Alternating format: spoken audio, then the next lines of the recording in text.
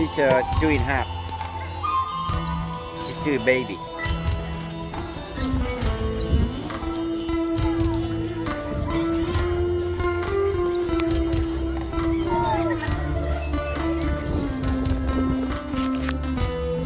Lamb, see that?